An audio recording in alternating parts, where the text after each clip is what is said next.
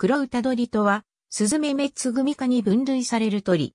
ヨーロッパ全土、アフリカの地中海沿岸から、中近東、インド、中央アジア南部、中国東南部、オーストラリア東南部、ニュージーランドに生息する。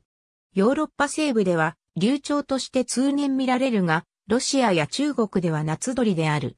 オーストラリア、ニュージーランドの個体は人為的に持ち込まれたものが増えたと思われる。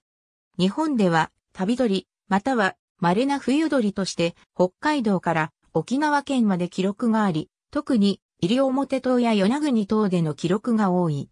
体長約28センチメートル。大型つぐみの一種。オスは黒い体に黄色いくちばし。目の周りが黄色い。メスの体はオスに比べて淡く、くちばしや目の周囲の黄色い部分が目立たない。白色個体基亜種を含めて15亜種ほどが知られている。また、白変種個体が見つかる例もある。開けた場所を好むため公園や路上などでよく見かけ、地上でよく虫をついばんでいる。虫の少ない季節には、ベリーや木の実も食べる。さえずりは美声で有名。オスはライバルのオスを見つけると、キーキーキーキーと鳴きながら向かって飛んでいく。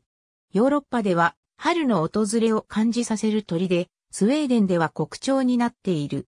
英語でこの鳥のことをブラックバードと呼ぶが、米語でブラックバードといえばムクドリも同期のことになってしまうので、注意。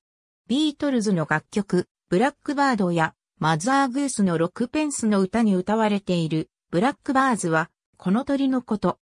作曲家、オリビエ・メシアンは黒歌鳥の歌を気に入っており、財布した上で世の終わりのための四重奏曲及びフルート曲、黒歌鳥などに用いている。